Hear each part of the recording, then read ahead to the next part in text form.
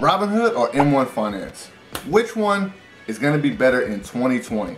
I don't know, but let's take a look at my M1 Finance portfolio for 2020. Hey, what's up guys? Welcome back to the channel.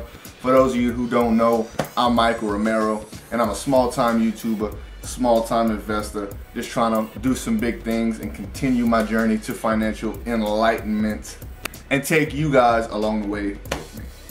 So guys, I know a lot of you have heard that Robinhood just released information saying that in the first quarter of 2020 they're gonna be um, releasing or having the option to do fractional shares, to buy fractional shares, and to use a DRIP, a dividend reinvestment program. But for those of you who don't know, M1 Finance already has that. They've been having that for about a year now. And I decided to restructure my portfolio from a full monthly dividend income portfolio to half and half gains and dividend income for M1 Finance. Just to see, just as a test for 2020. I don't know if I'm gonna keep it like that, but we'll see how well it'll do in 2020 with the way I have my profile structured here. If you guys remembered on my previous M1 Finance video, it was all about the monthly dividend paying stocks. In this one, we're gonna have some monthly dividends, some quarterly, and some that don't pay any dividend. I'm talking about Amazon. I'm talking about Google. I'm talking about Tesla. Why would I buy these? Because they're freaking awesome companies. But unfortunately, they don't pay dividends. Hopefully, maybe one day they will, but I don't know. I just feel like maybe now's the time to invest in them, to do this little experiment for 2020 and see if my M1 Finance portfolio can outperform my Robinhood portfolio. Even though my Robinhood portfolio has significantly more money in it, we're gonna see which portfolio is gonna do better than which one. But guys, we're about to jump into the phone, but before we do that, go ahead and hit that like button for the YouTube algorithm because you guys have been killing it. And if you guys are ready to go into 2020 with a crush it mindset, go ahead and let me know by hitting that smash button. That like button, I mean smashing the like button, you know what I'm saying. Here is my M1 Finance portfolio. As you can see, a little under $400. But for just having it for about a month and a half, I'm already up 7%. And this is not, this, this is mostly because of all the dividend stocks I had previously. I pretty much sold them all except for one you'll see in a little bit. But I wanted more of quality stocks for this portfolio to see if I can outperform my strictly dividend portfolio on M1 on I'm sorry Robinhood. But as you can see here, we are up 7.13% with a total gain of $13.61.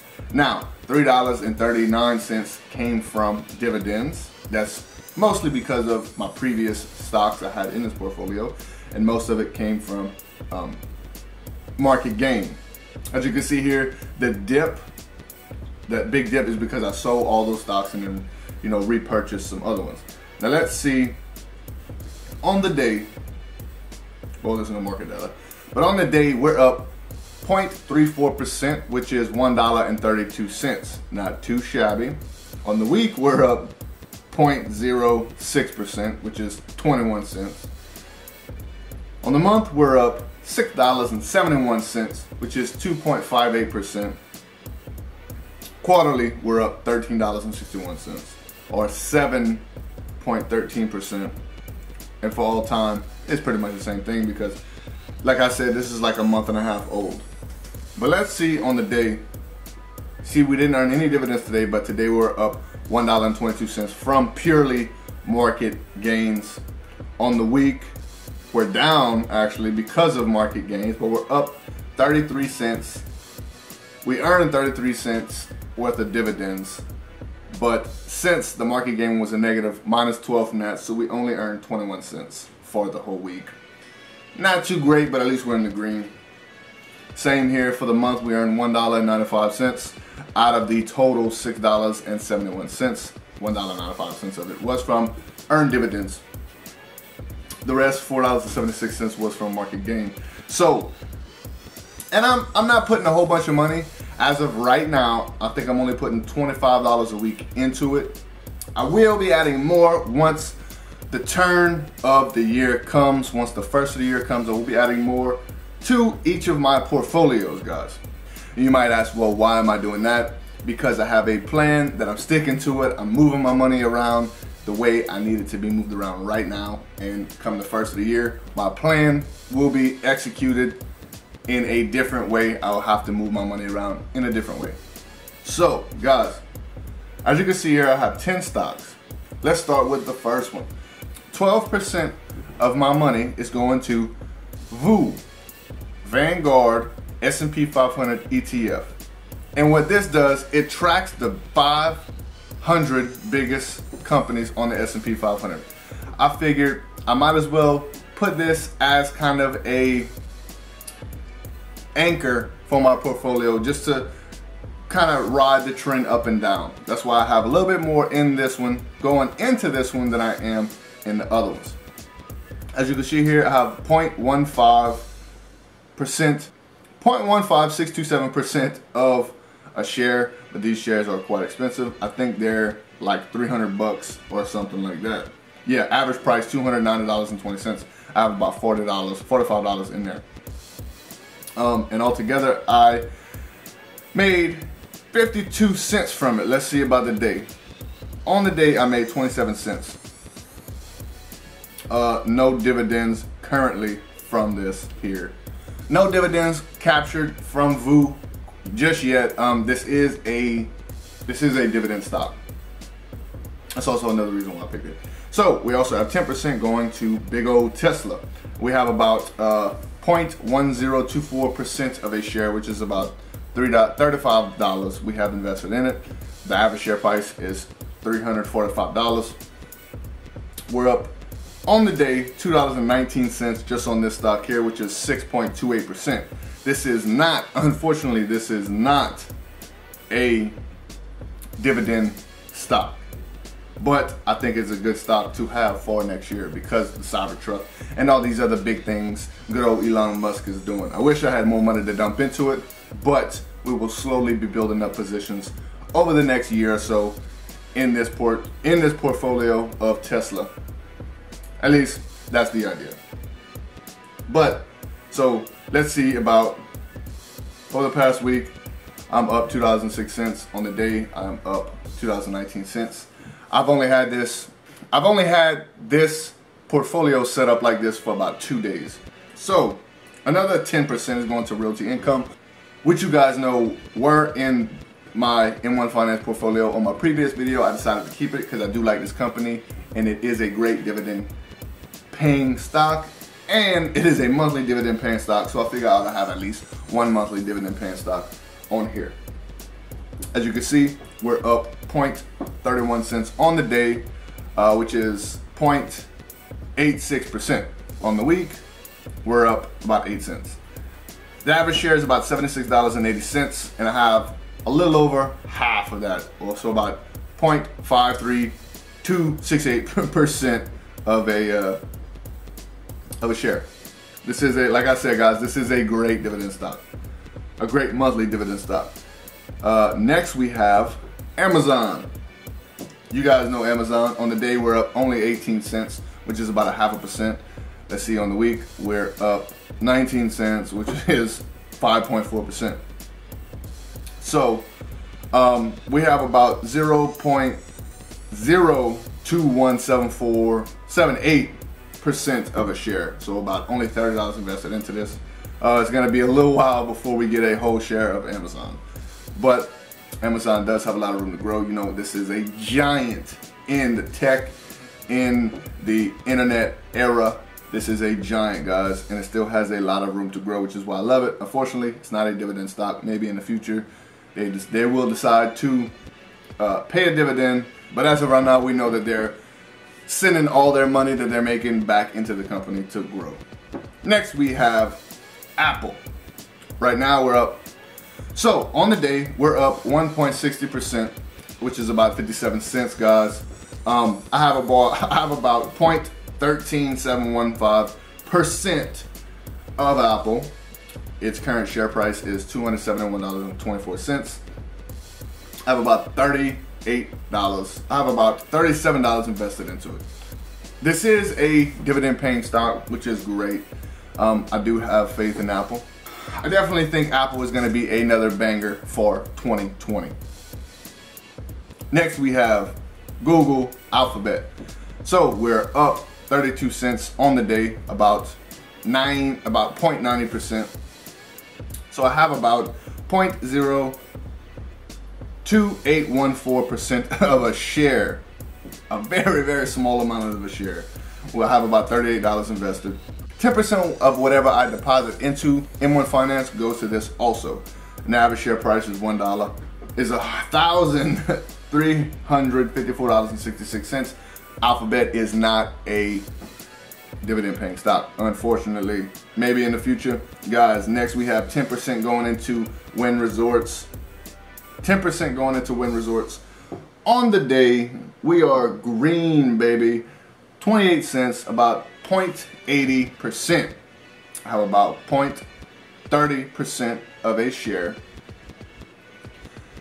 And I have about $36 invested. I have about $38 invested, and the average share is $123.69. This is also a dividend paying stock. This is a really good stock. I actually decided to pick this stock because of Jeremy from Financial Education. He loves this stock, so I decided I might as well give it a chance. So, shout out to Jeremy from the Financial Education channel for putting me on Wynn Resorts. Next, we have 10% going to Activision Blizzard Company. You guys might know this company from Call of Duty, from World of Warcraft, stuff like that. Um, i never been in a tech company like this, so I decided to jump in. Also, this is a dividend paying stock. Um, the reason I decided to jump into Activision Blizzard is because all is because games are taking over. Over the next few years, over the next year, they should have a bunch more games coming out from Activision and Blizzard. Plus, the new Call of Duty just came out, so shout out to whoever got the new Call of Duty. Shout out to whoever got the new Call of Duty on Xbox. Add me, Killator, K-I-1-1-A-T-O-R. That's me. I got 0.17 down on the day, which is about six cents I'm down. But I have about point zero, I have about 0.65067% of a share. Of about, you know, $38 invested. I roughly have a, the same amount of money invested in all of them. An average price is $55.88, $55.88, guys. Let's see on the week, am I up? I am still down on the week, okay. All right, next we have another 10% going to Lamar. Lamar is an advertising company, guys. This is also a dividend paying stock. Lamar does those physical billboards and they pretty much own all of them. At least a good 90% of billboards is Lamar, guys. So I have about 0.44676% of a share. The average share is $86.89 and I have about $37, $38 allocated into it. Um, guys, I am down 0.92%, almost a whole percent. Also, 33 cents down on the day. Let's see about on the week. We are not green on the week, but I share this bad boy We'll turn around. This also is a dividend paying stock. Uh, did not receive any dividends from it yet because like I said, I've only been holding these stocks for about two days. We will see come turn the end of the year how well these stocks will play out. Last but not least, we have 8% going to Inseego Corp. Now this is probably the riskiest investment that I have in this portfolio. Inseego Corp is a Inseego Corp is a 5G infrastructure company. They handle a lot of 5G equipment, a lot of 5G things in the infrastructure. And as we know, 5G is coming up big in 2020 for AT&T, Sprint, Verizon. All these companies are currently working on 5G. And once 5G starts rolling off, I have a feeling that this company is gonna shoot up in value. Well, right now I'm down about 8% on this bad boy, but I'm not tripping because I do have a feeling that this is gonna go up over the next few months. So I'm down about 8.83%, almost 9% on the day, which is about $2.51. On the week though, I'm uh, down almost 11%, 10.82%, which is about $3.08.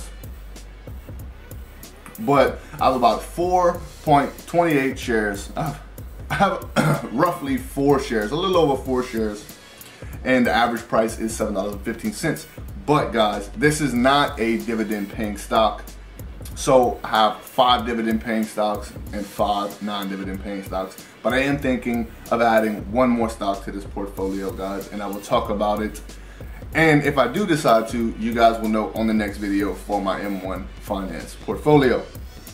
And guys, if you don't know, M1 Finance is one of the more cooler and user-friendly apps because they really, they really keep everything simplified.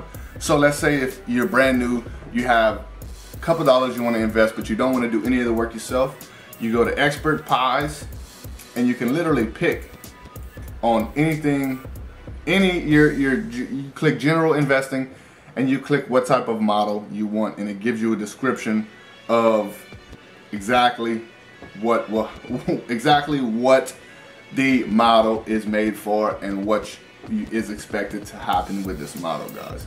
Guys, M1 Finance is a great portfolio. It's a set it and forget it portfolio. It's not hands-on like Robinhood is, but it is still a great portfolio, especially, it's, it's, it is a great brokerage, especially for beginners, guys. And if you don't have M1 Finance and you want to sign up, I'll leave you a link in the description. Once you sign up and fund your account, it'll give you 10 and I will also get $10 to be to put in my account, guys.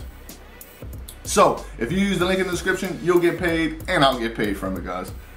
That is if you want to sign up for M1 Finance. If you don't, it's all good. I ain't gonna be mad at you guys. all right, guys, that was my M1 Finance portfolio, roughly under $400. We know we're gonna make it to $400 by the end of the year. Like I said, guys, if you want to download M1 Finance, I'll leave a link in the description. If you use that link to sign up, we'll both get paid from it, guys. If you don't, it's all good. I ain't mad at you. But if you find value out of this video whatsoever, go ahead and smash that like button for the YouTube algorithm to let them know that I'm doing a good job because you guys are doing a good job from smashing that like button.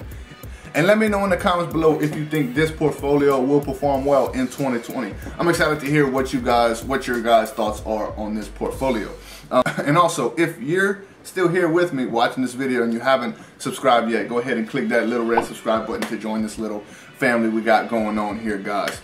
Alright guys, if you want to continue your journey to financial enlightenment with me, go ahead and click one of these videos.